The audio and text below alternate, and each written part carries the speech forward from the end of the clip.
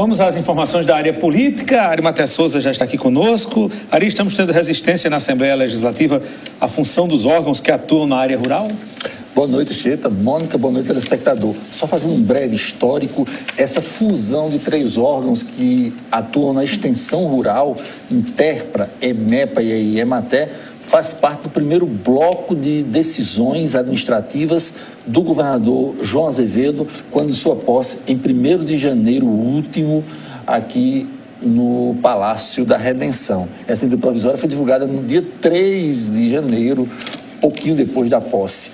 E essa fusão, que é a medida provisória 277, está encontrando resistência até mesmo na base governista, que não concorda. Eh, alguns deputados entendem que esses órgãos, e tem um certo fundamento, esses órgãos têm capilaridade, ou seja, eles estão espalhados por todo o território paraibano e têm uma estrutura complementar que a, o somatório das ações de EMEPA, EMATÉ e Interpra esse somatório acaba dando um respaldo muito interessante ao homem da agricultura. Vou citando as duas, sempre hum. para a gente ir se familiarizando. Ele, ele é da base governista e explicou por que vai votar contra essa fusão desses três órgãos.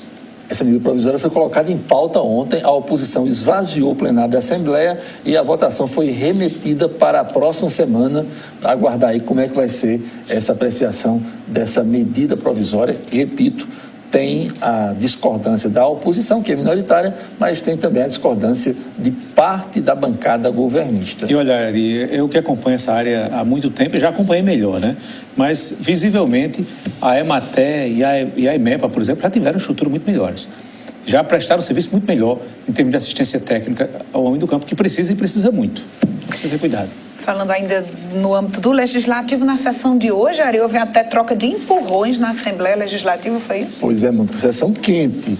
O pano de fundo de tudo isso é a questão da famosa Operação Calvário 2, aquela que culminou há poucos dias com a prisão da então secretária de Administração do Estado, que acabou, por conta de sua prisão, pedindo demissão do cargo, a Livânia Farias. Esse assunto é recorrente e sempre que é citado na Assembleia Legislativa, e tem sido citado quase que diariamente, eleva a temperatura, acirra os ânimos no plenário. Hoje, por exemplo, o deputado Ranieri Paulino, que é líder do bloco de oposição, filiado ao MDB, solicitou, através de requerimento, a convocação da secretária de Saúde, Cláudia Veras, para prestar esclarecimentos acerca do funcionamento e do contrato que existe entre a Cruz Vermelha eh, Brasileira, que é o foco principal dessa operação Calvário, Calvário 2 e o governo do estado através de três unidades hospitalares que são administradas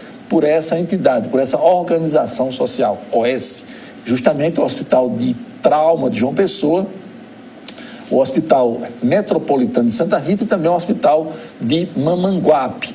E aí foi uma pequena provocação de, de Ranieri Paulino.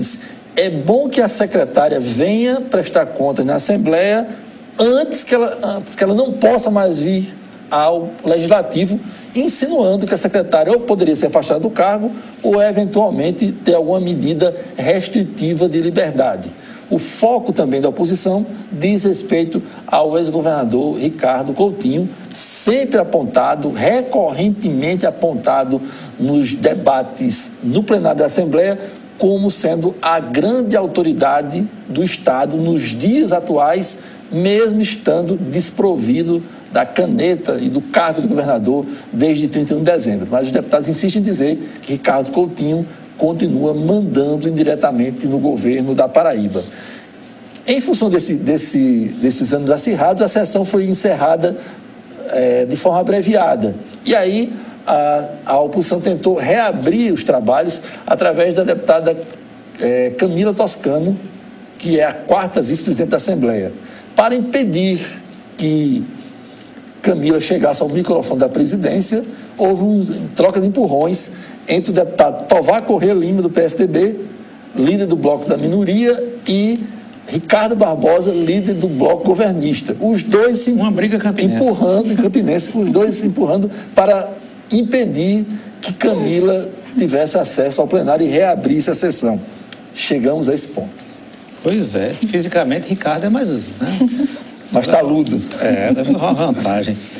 É, o ministro Paulo Guedes alegou não ir para a Câmara porque disse que não tinha sentido ir participar de um debate sobre Previdência quando nem a comissão especial foi instalada, sequer tem relator. Ele disse que estava disponível para ir à Câmara, desde que pelo menos a comissão tenha relatoria esteja funcionando na Câmara. Mas Paulo Guedes foi ao Senado hoje, o superministro, e o tempo esquentou eh, devido a, a debate inevitavelmente acalorado sobre as questões da economia e particularmente com relação à reforma da Previdência. A certa altura, Paulo Guedes disse aos senadores e a quem estava assistindo que não tem apego ao cargo de ministro e que se o governo ou o Congresso entenderem que não é prioridade a reforma da Previdência, nem é prioridade ajustar a economia brasileira, ele não tem nenhum problema de deixar o cargo e voltar para suas atividades na iniciativa privada.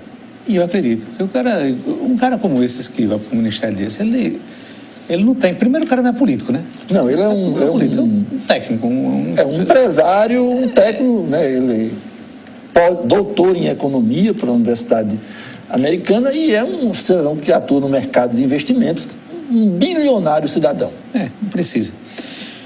Pois é, Matéia, boa noite. Boa noite.